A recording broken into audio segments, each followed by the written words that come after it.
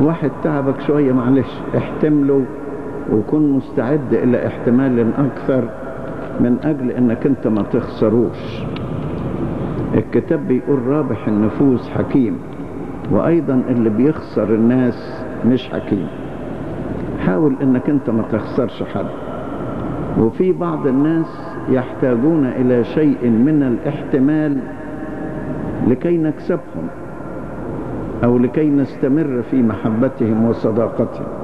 مفيش مانع إنك أنت تحتمل غيرك.